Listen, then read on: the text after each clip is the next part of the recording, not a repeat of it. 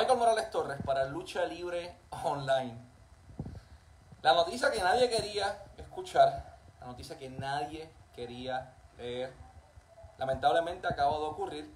La WWE acaba de dejar en libertad a Tony Storm, Antonio Tormentas, como le decían los latinos de cariño. Tony Storm es dejada en libertad por la WWE, pero ¿por qué? Pues les puedo adelantar que no es por budget cuts. La WWE deja en libertad a Tony Storm en medio de un programa contra la campeona mundial femenina de SmackDown y estando en la escena estelar. ¿Por qué? Porque Tony Storm lo pidió. ¿Qué pasó ahí? Tony Storm solicitó, según nos reportan nuestras fuentes, y según reportó por otra parte también Sean Ross de Fightful, nosotros pudimos confirmarlo por acá, Tony Storm es quien solicitó a la empresa WWE ser dejada en libertad.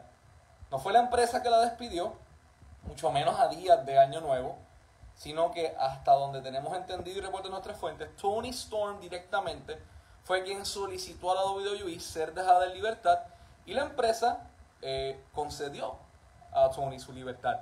Todo esto en medio de un programa enfrentándose a la campeona mundial femenina.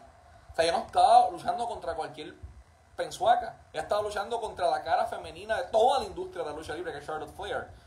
Ella estuvo en el live event ayer en Washington. Ella estuvo en el live event del lunes en Orlando. Ella estaba en todos los live events, en todos los programas y de momento solicitó ser dejada en libertad. Y ta, El comunicado que le envían a los empleados no es por budget cuts o recortes de presupuesto. Así que en esta ocasión no fue culpa de WWE, sino que fue Tony Storm directamente quien solicitó a la WWE ser dejada en libertad. Todo esto mientras estaba en los planos estelares, todo esto mientras estaba en el punto máximo de su carrera y lamentablemente no le bastó, no le fue suficiente y solicitó a la empresa que la dejara en libertad para poder continuar con el resto de sus proyectos. Aquí viene mi comentario. Tony Storm le va a generar mucho dinero a Tony Khan si la firma. Le va a generar muchísimo dinero.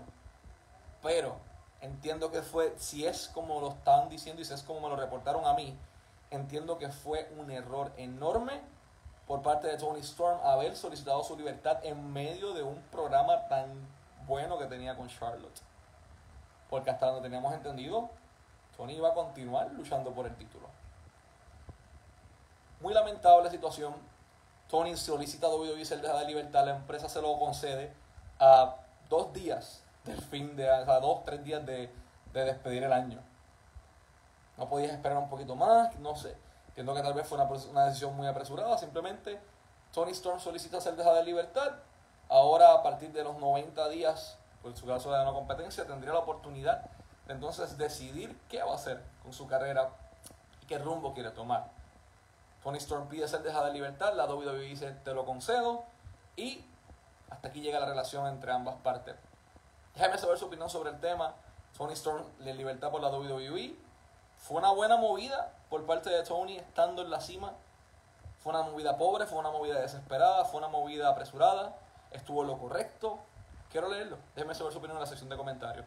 Siempre shout a mi gente de Reconstruction por las camisas RCW Nation y a la gente de Emergency Phone Solutions también. Pueden verificarlos en todas sus redes sociales. Emergency Phone Solutions, los número uno en Puerto Rico. Este fue Michael Morales Torres para Lucha Libre Online, la marca número uno de Pro Wrestling y Combat Sports en español.